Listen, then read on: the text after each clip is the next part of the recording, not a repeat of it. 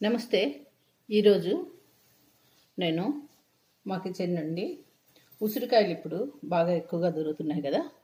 మనం అవి మనం స్టోర్ చేసుకునేలాగా అది విధానం చూపిస్తున్నాను నేను. అంటే తురుముకొని మనం స్టోర్ చేసుకుంటే కొంచెం ఫ్రిడ్జ్లో పెట్టేసుకుంటే మనం ఎప్పుడంటే అప్పుడు ఉప్మాల్లో వేసుకోవచ్చు కూరల్లో వేసుకోవచ్చు పప్పులో వేసుకోవచ్చు ఎలాగైనా మనం వాడుకోవచ్చు. ఇలాగా ఉసిరికాయలు మనం తీసుకొని ఇవి తురిమేసుకోవాలి. తురిమేసుకొని కొద్దిగా ఉప్పు కొద్దిగా ఒక స్పూన్ ఆయిల్ కొద్దిగా పసుపు కలిపేసి మనం ఒక జిప్లాక్ బ్యాగ్లో పెట్టేసి మనం ఫ్రీజర్లో పెట్టేసుకున్నామంటే మనకి శుభ్రంగా నిల్వ ఉంటాయి మనం కావాల్సినప్పుడల్లా కొంచెం తీసి వాడుకోవడానికి బాగుంటుంది. మనం ఇప్పుడు ఈ ఉసిరికాయల్ని తురిమేసుకుందాం. తురిమేసుకున్నా కానీ మిక్సీలో వేసుకున్నా కానీ మన ఇష్టం. ముక్కలు కట్ చేసి మిక్సీలో కూడా వేసేసుకోవచ్చు. అలాగే తురిమేసుకుందాం. తురిమేసుకున్నాం మన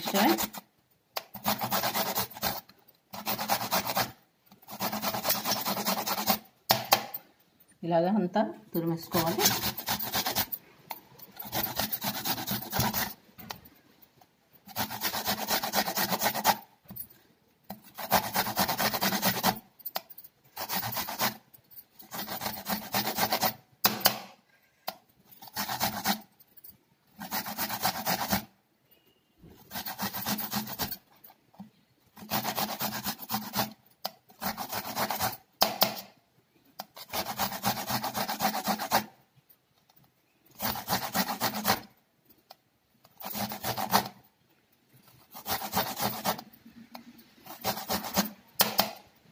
మొత్తం మనం ఈ ఉసిరికాయ అంతా తురిమేసుకున్నాం ఇలాగా. అలాగే అన్నీ తురిమేసుకుందాం ఉసిరికాయలన్నీ.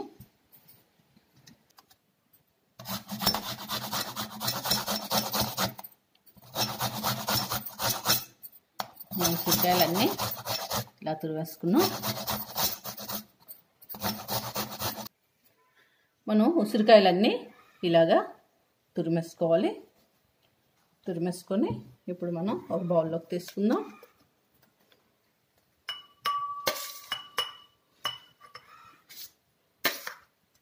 లేదు అంటే ఈ తురిమిన ప్లేట్లో అయినా కలిపేసుకోవచ్చు.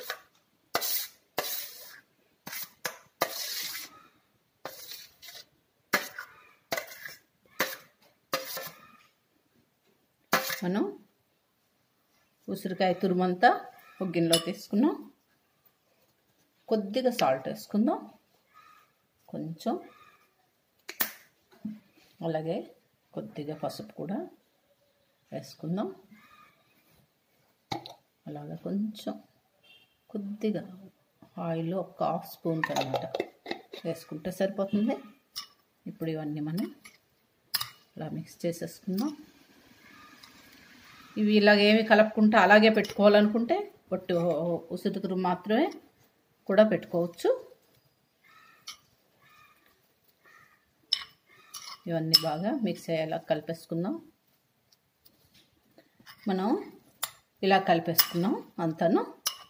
కొద్దిగా పసుపు కొద్దిగా ఉప్పు కొద్దిగా ఆయిల్ వేసి ఇలా కలిపేసుకొని మనం ఒక బాక్స్లో కానీ ఒక జిప్లాక్ బ్యాగ్లో కానీ ఇలాగా పెట్టేసుకొని ఫ్రిడ్జ్ చేసి ఫ్రిడ్జ్లో పెట్టేసుకున్నాం అంటే మనం కొద్ది కొద్దిగా తీసి వాడుకోవచ్చు. మనకి ఈ ఈ జిప్లాక్ బ్యాగ్లో పెట్టుకోవడం వల్ల అడ్వాంటేజ్ ఏంటంటే మనం అలాగా అది మనం డీ ఫ్రిడ్జ్లో పెట్టేసుకుంటాం కదా బాగా గడ్డ కట్టేసినట్టు అయిపోద్ది ఐస్ లాగా అయిపోద్ది. అదే ఇందులోనైతే మనం తీసేసుకొని చక్కగాను మనకు కావాల్సిన ముక్క కావాల్సినంత మనం విరిచేసుకుంటే వచ్చేస్తుంది. అప్పుడు ఆ పీస్ మనం వేసి వాడుకోవచ్చు వంటల్లో వేసేసుకోవచ్చు డైరెక్ట్గాను అంటే మనం ముందే తీసి బయట పెట్టవలసిన అది ఐస్ అంతా డీఫ్రాస్ అయ్యే వరకు మనం వెయిట్ చేయక్కర్లేదు. దీంట్లో నిండి తీసి కొంచెం ముక్క తుంచుకుంటే సరిపోతుంది మనకి. ఇలాగా. అందుకని జిప్ లాక్లు అయితే మనకి ఇది అడ్వాంటేజ్. మనం ఇందులోనే వేసేసుకుందాం జిప్ లాక్లోని. నేను కొద్దిగా మాత్రమే చూపిస్తున్నాను. మనకి ఎక్కువ తెచ్చుకొని మనకి ఒక టైంలో చాలా చీప్గా వస్తాయి. అలాగా చీప్గా దొరికినప్పుడు రేట్ తక్కువగా ఉన్నప్పుడు ఎక్కువ తెచ్చుకొని ఇలా స్టోర్ చేసుకుంటే మనం చాలా రోజులు యూజ్ చేసుకోవచ్చు మనం. ఇది ప్రతి వంటలో మనం వాడచ్చు. ఒక స్పూన్ రెండు స్పూన్లు వేస్తే అందరికీ మంచిది. ప్రతి వంటలో అన్నింటిలో వాడుకోవడానికి బాగుంటుంది. ఇప్పుడు నేను ఇలా స్టోర్ చేసుకుంటాను అనమాట ఇలాగే మనం ఎక్కువ చేసుకొని మనం జిప్లాక్ బ్యాగ్లో కానీ బాక్సుల్లో కానీ పెట్టేసుకొని ఫ్రిడ్జ్లో పెట్టేసుకోవడమే. నేను ఇప్పుడు ఈ స్టోర్ చే ఈ ఉసురుతురుతో నేను అవిసె గింజల రైస్ చేసి చూపిస్తున్నాను నేను. ఇది మనం వాడుకుందాం దానికి. అవిసె గింజల రైస్ ఉసురుతురుతో చేస్తాను నేను. ఇప్పుడు నేను మనం ఈ ఉసిరి తురుము చేసుకున్నాం కదా ఈ ఉసిరి తురుముతో మనం రైస్ చేసుకుందాం.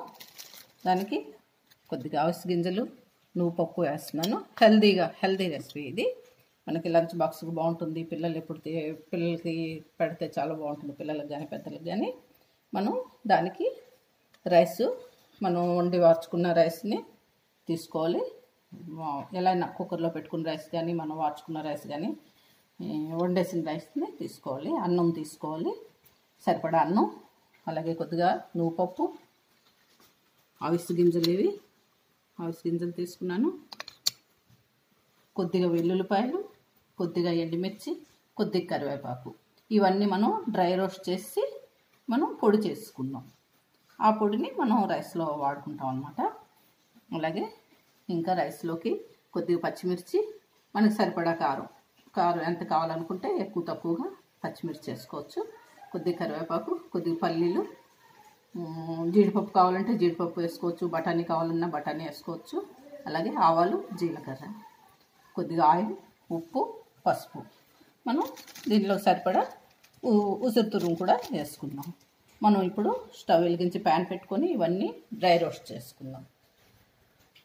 మనం ఇప్పుడు స్టవ్ వెలిగించుకున్నాం ప్యాన్ పెట్టుకున్నాం. ఇప్పుడు దీనిలోని ఫస్ట్ హౌస్ గింజలు వేయించుకుందాం.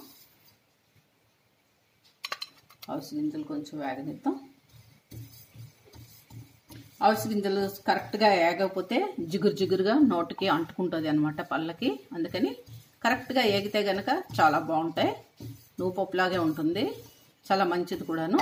అవిసె గింజలు కూడా మనం పొడి చేసుకొని ఇప్పుడు ఈ చేస్తున్న ఈ పొడిని మనం చేసి కొంచెం స్టోర్ చేసుకున్నామంటే ఒక బాటిల్లో కొంచెం ఎక్కువ చేసి స్టోర్ చేసుకొని ఈ ఇది కూడా మనం ఈ పొడి కూడా అన్నింటిలో రైస్తో కానీ కూరల్లో కానీ అలాగే దోశ మీద వేసుకొని కానీ అలాగా తింటా ఉంటే మంచిది పిల్లలకు పెడతా ఉంటే చాలా మంచిది. ఇవి కొద్దిగా ఆగనిద్దాం.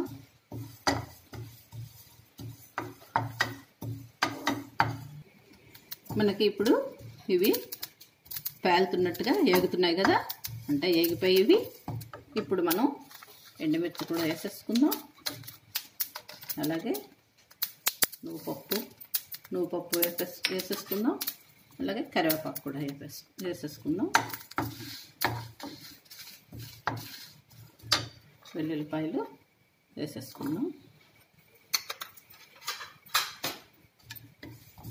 ఇప్పుడు ఇవన్నీ కలిపి వేసేసు వేపేసుకుందాం.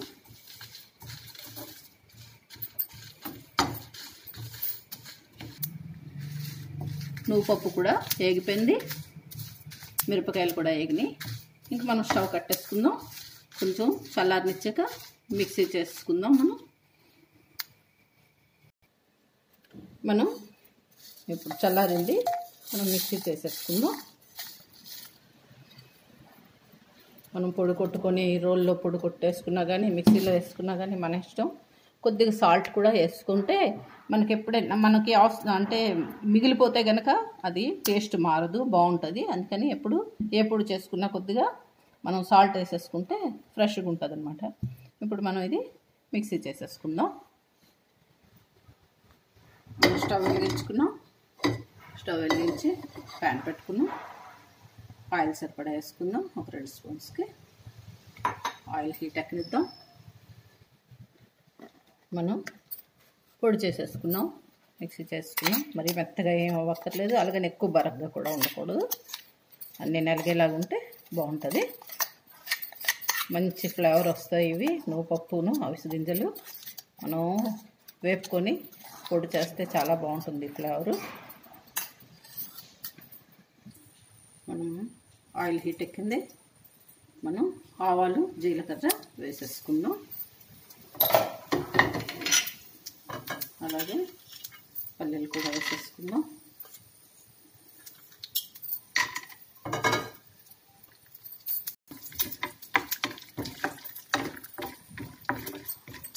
పల్లీలు కొంచెం దారుగా వేగే వరకు వేపుకుందాం. పచ్చి ఉంటే బాగుండదు. కొంచెం అవి చిట్పట్లు ఆడుతుంటాయి పేరడం మొదలైతే ఇంకా వేగిపోయినట్టే పల్లీలు కూడాను. వేగిపోయి మనం ఇంకా కరివేపాకు వేసుకున్నాం అలాగే పచ్చిమిర్చి.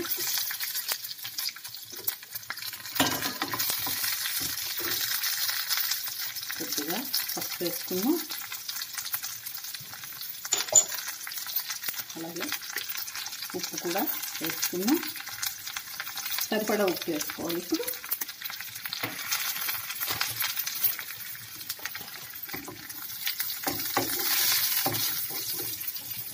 అలాగే ఇప్పుడు మనం ఉసిరి తురుము రెడీ చేసుకున్నాం కదా ఈ ఉసిరి తురుము కూడా వేసుకోవాలి. రెండు స్పూన్లు వేసుకుందాం మనం తీసుకునే రైస్ బట్టి వేసుకుంటే బాగుంటుంది. అప్పుడు రెండు స్పూన్స్ వేసుకున్నాం నేను.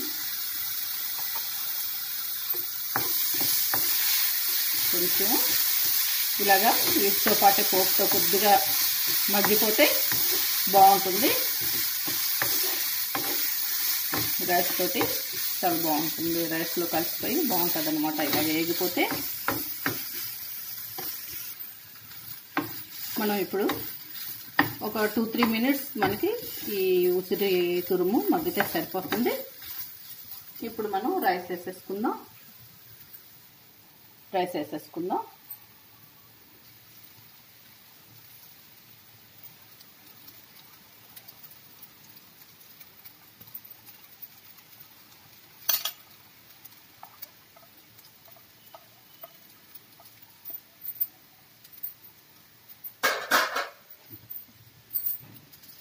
కలుపుకుందాం ఒకసారి.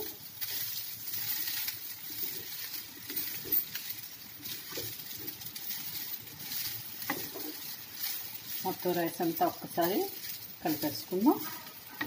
అప్పుడు మనం రెడీ చేసుకున్న హౌస్ గింజల పౌడర్ కూడా వేసేసుకుందాం.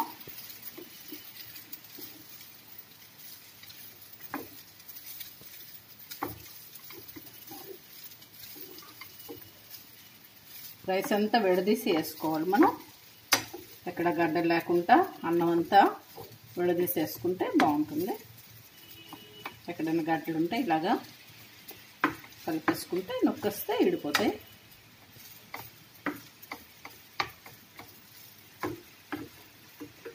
ఇప్పుడు మనం రెడీ చేసుకున్న యాభై గింజల పౌడర్ కూడా వేసేసుకుందాం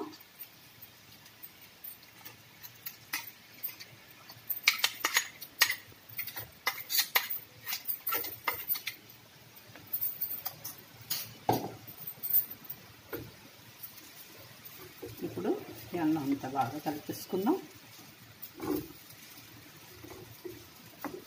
మనకి అవసరం గింజల పొడి ఇలాగ న్యాచురల్గా ఉండాలి అనుకున్నప్పుడు మనం పసుపు వేసుకోకుండా ఉన్నా మనకి బాగుంటుంది.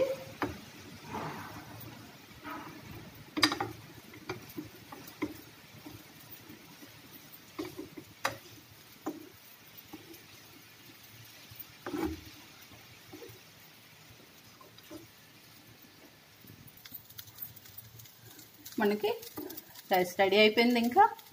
ఉసిరికాయ గింజల రైస్ రెడీ అయిపోయింది. మనం ఇంక స్టవ్ కట్టేసుకుందాం. ఇది చాలా హెల్తీ రెసిపీ టేస్టీగా కూడా ఉంటుంది. మనం లంచ్ బాక్సుల్లోకి చాలా బాగుంటుంది ఇది. నచ్చితే నిమ్మరసం కూడా పిండుకోవచ్చు. ఇప్పుడు మనం సర్వింగ్ డిష్లో తీసుకుందాం స్టవ్ కట్టేద్దాం. మనకి ఉసిరికాయ అవిసి గింజల రైస్ రెడీ అయిపోయింది. మనం సర్వింగ్ డిష్లో ప్లేట్లోకి తీసుకున్నాం. తప్పకుండా ఈ రెసిపీ మీ అందరూ ట్రై చేయండి. అలాగే ఈ రెసిపీ గురించి మీ ఫీడ్బ్యాక్ కామెంట్ బాక్స్లో పెట్టండి. ఉసిరికాయని అలాగా నిల్వ చేసుకొని మనం అన్నింట్లో ఇప్పుడు ఈ రైస్ చేసుకున్నట్టే మనం అన్ని సేమియా ఉప్మాలో కానీ వరినూక ఉప్మాలో కానీ ఈ చట్నీల్లో కానీ పప్పులో కూరల్లో అన్నింటిలో వేసుకుంటే బాగుంటుంది. అలాగే ఈ పొడి కూడాను కూరలు అన్నింటిలో వాడుకున్నా బాగుంటుంది. తప్పకుండా మీ అందరూ ట్రై చేసి మీ ఫీడ్బ్యాక్ కామెంట్ బాక్స్లో అందించండి. అలాగే ఈ రెసిపీ కనుక మీకు నచ్చినట్టయితే యూట్యూబ్లో నా ఛానల్కి తప్పకుండా సబ్స్క్రైబ్ అవ్వండి. Thank you.